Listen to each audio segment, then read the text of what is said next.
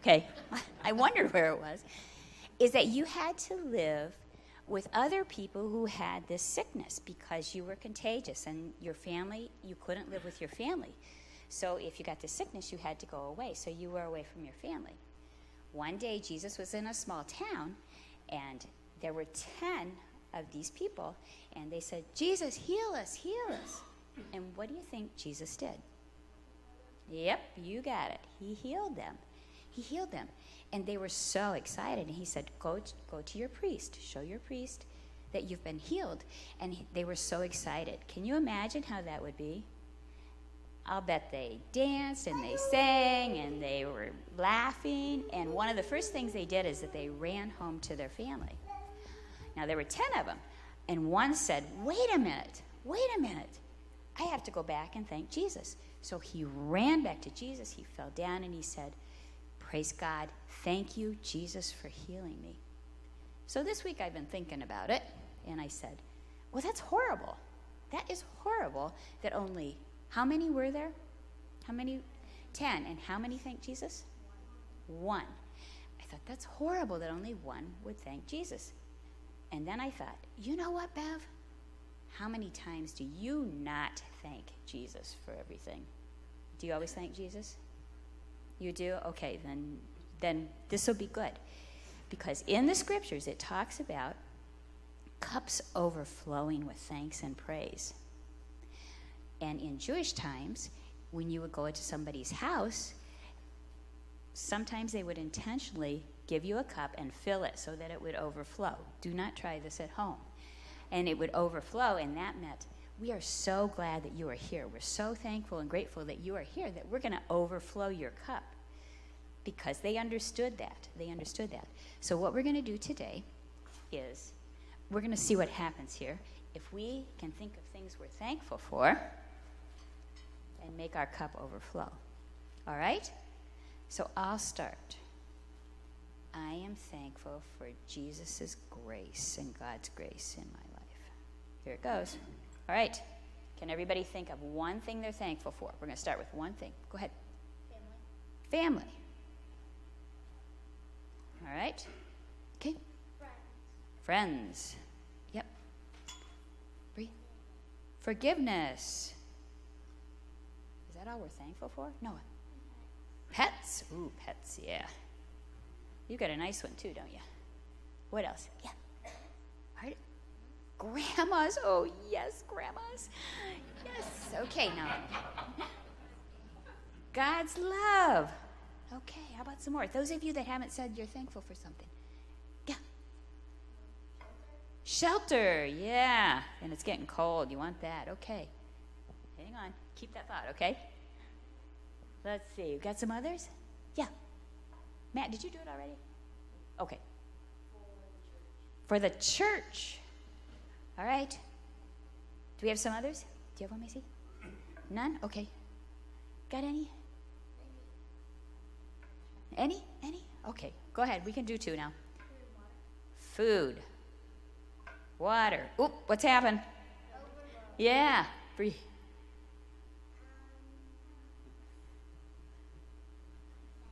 Plane. Ooh, who likes plane? I like plane. Oh, oh boy, we got tons. Noah.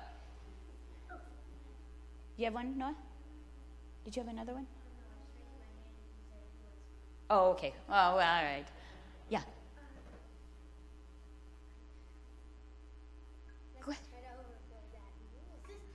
Sisters. Whoa. That's good. Brothers. All right. Sister. Oh, sister. Okay, sister. That's right. And grandpas. Yeah, I wondered we were going to get grandpas in there. Babies. You like babies. Yeah. Any other? Any others?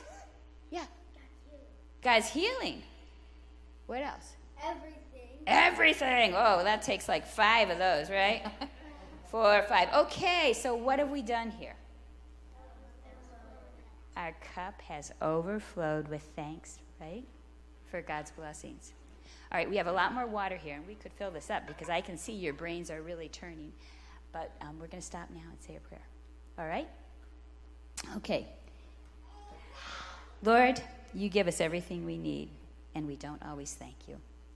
Please help us remember to thank you and to keep our cup overflowing with thanks, praise for everything that you do for us. Amen.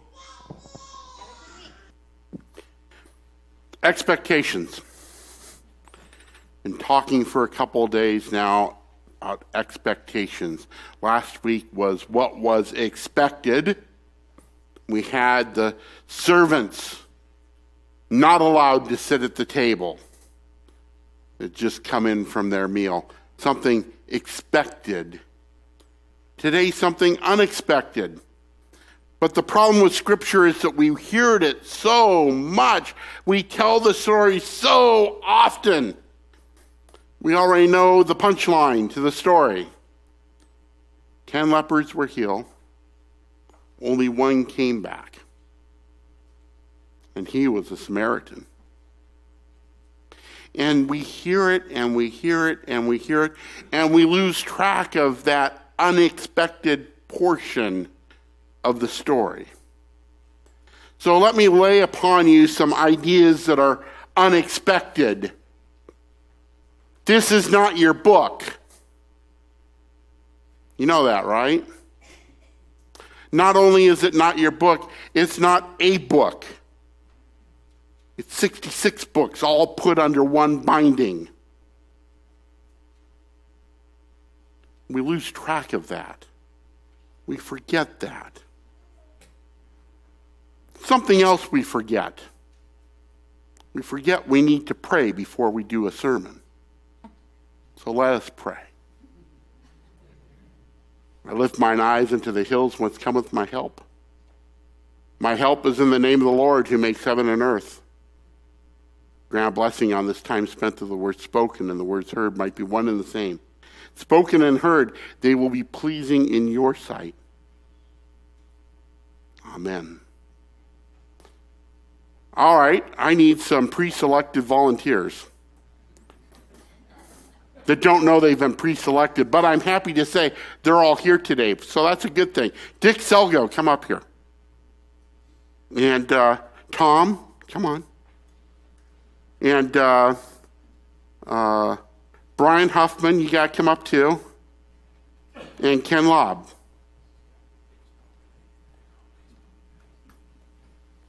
Oh, look at that tie. You even got the tie. Come on up.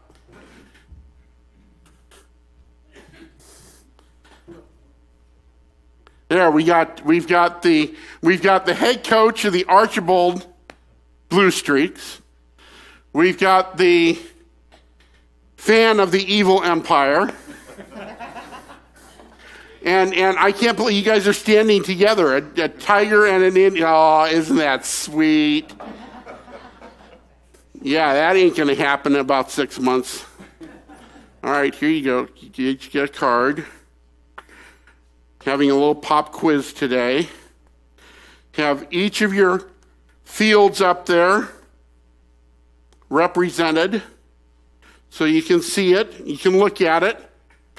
Write down the answer to the question. What are the most important six inches of real estate on each of these baseball fields?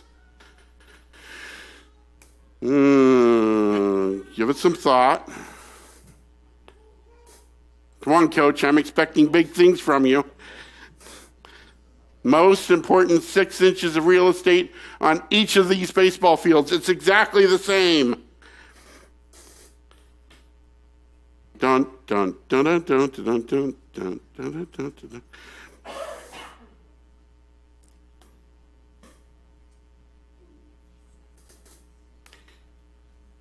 Got it? Okay, here we go. All right, let's line up. Let's line up. Let's let's start let's start with the one we we worry about the most. We're Indians fan. Bring, bring your card. Okay. And your answer is?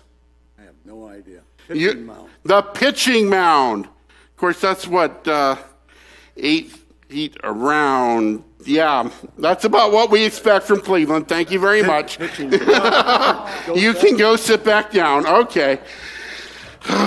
Detroit. I can't believe I'm agreeing, All right. agreeing with a. Oh, yeah, we've already sent the Tigers home too, just like in.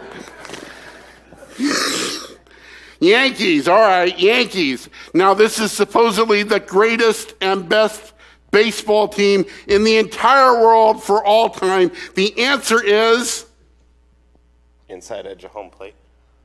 inside edge of home plate. Close, but no cigar. Thank you very much. Okay, coach. Expecting big things from the coach. That's where I was. I Oh. sides of home plate. Now, now I'll give you a nice coaching tip here. I tell all the players I ever coached, the most important six inches between on on the baseball field is Good point. he says it's a good point. There we go.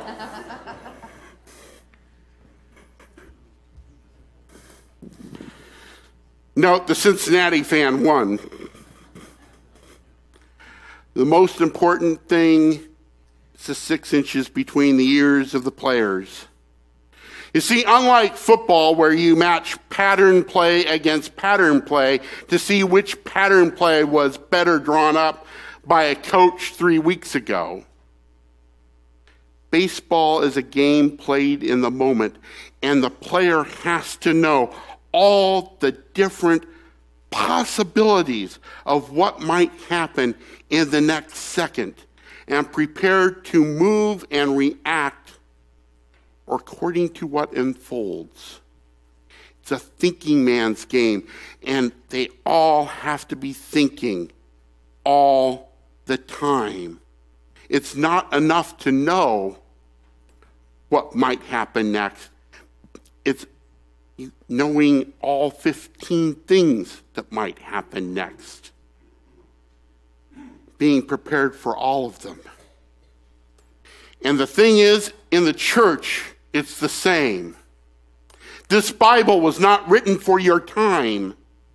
It's not written in your language. It's not written to your culture. And all of those affect how we understand and know what the story is trying to tell us. And if we don't think about these things and study them and try to understand them, then we can never truly understand what Scripture is telling us today. Because through our faith and through the power of the Spirit of God, it is still relevant to us today, even though it's not written for our time or in our language or for our culture. So, the thing we always miss with certain stories is why is it the Samaritans that we're always talking about? Kingdom of David, one single unified kingdom, Jerusalem set up as, its capital eventually, and that's the place where the palace was built. David determined in looking at his grand palace that maybe it wasn't such a good thing that God's home was simply a tent pitched up outside of town. And so he started talking about building a temple. A grand temple that would be located next to the king's palace and be better and bigger than the king's palace because it needed to be suitable for God. But he wasn't allowed to build that. Instead, it fell upon his son Solomon to build the temple, the first temple. After Solomon's reign, the kingdom broke up, became two kingdoms. Israel became the name of the northern kingdom, and Judea, the southern. The capital of the southern kingdom was Jerusalem. The capital of the northern kingdom was Samaria. Judea, Jews. Samaria, Samaritans. All stems back to this breaking in half of the kingdom and these two shared entities fighting back and forth bickering, squabbling. Sometimes they would align for a certain period of time, but most of the time they warred. And why? Over religion. Because Jerusalem had the temple, which had to be the home of God. But Israel needed a temple of its own. So not only did it build one, it built two one in Bethel, no, back, one in Bethel, and one in Dan. Two ends of the kingdom. So now we don't just have two countries, we have three temples. And what was the greatest apostasy to the Jewish people? False worship of God. If God is known to live in the temple of Jerusalem, how can there be another temple in Bethel and Dan?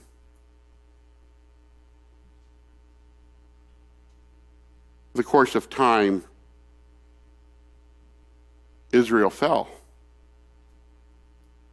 They tried hard not to. They tried to convince Judah to enter into alliance with them and Egypt and stand up against the Assyrians.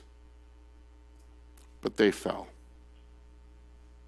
Judea fell another 150 years later. Now, the Roman Empire, three districts, the Roman Empire Galilee, where Jesus is from. Samaria and Judea. Galilee, they were Jews. They recognized the temple. They traveled down to Jerusalem.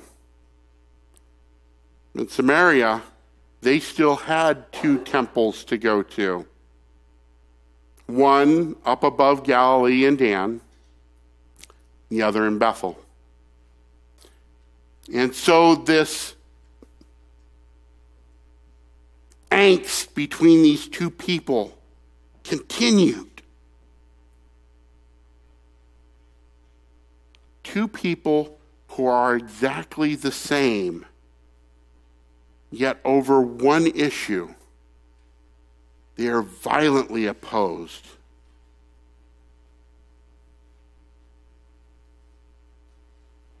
here in Ohio, there's lots of preachers who will turn around and point to two certain schools that cannot even name each other to try and show the same level of angst between these two people.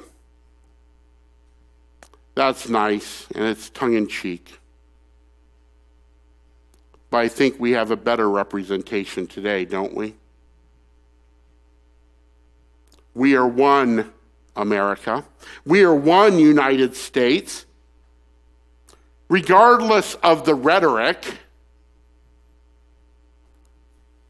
we know the Reds and the Blues both have the nation's best interest at heart. But the rhetoric, the toxicity of the election, the candidate that you choose to support the Reds and the Blues divided our nation in three sections.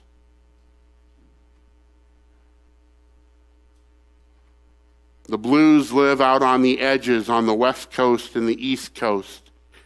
The Reds all live in the middle.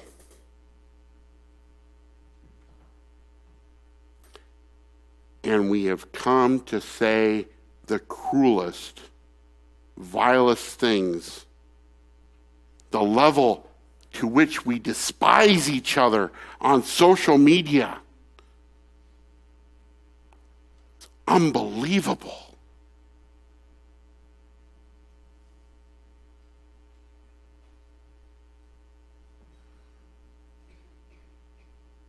When Jesus points to the Samaritan, the Good Samaritan, the Samaritan who comes back, the Samaritan that comes back and thanks him. His audience is hearing about that other side of the color spectrum being good, being elevated by your Lord and Savior, being recognized, and your side being shown to be foolish and careless and fail to show grace.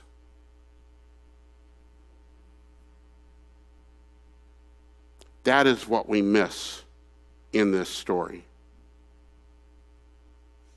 We've heard it so many times.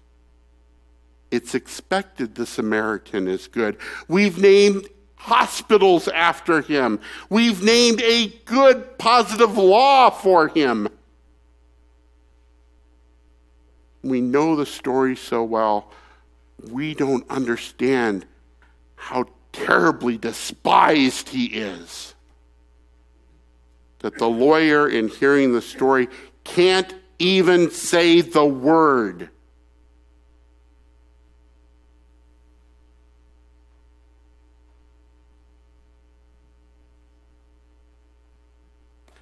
But that's not really the unexpected part of this story.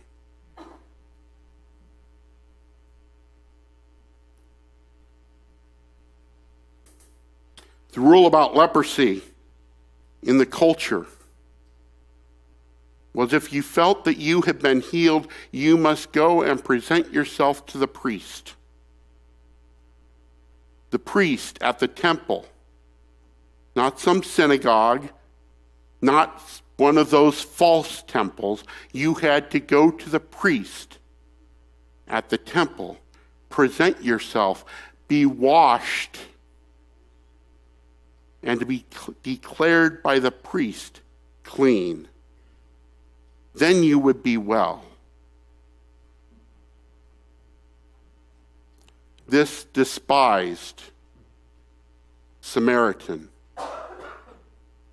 is told, Your faith has made you well.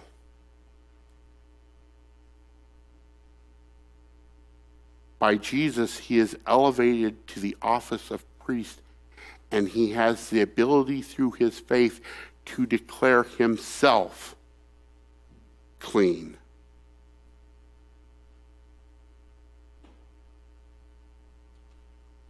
Unexpected. Unbelievable.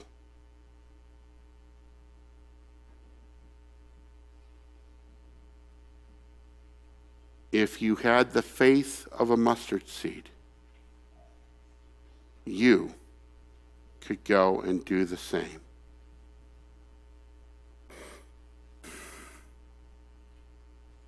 Amen.